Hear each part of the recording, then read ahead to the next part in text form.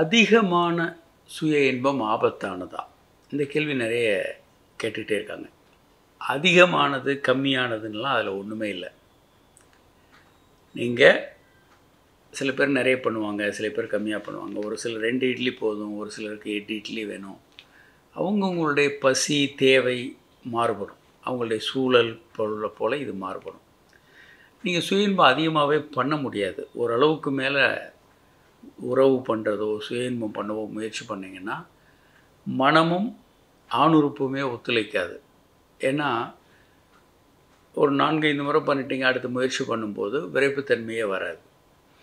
அதனால் செக்ஸும் சரி சுயன்பும் சரி அதிகமாக பண்ணுறது அப்படின்றது ஒன்றும் இல்லை சில நேரங்களில் அவர்கள் வேலைகளை புறக்கணித்து விட்டு ஒரு பையன் ஸ்கூலுக்கே போகாமல் இந்த பண்ணிக்கிட்டே இருந்தாங்கன்னா அது தவறு.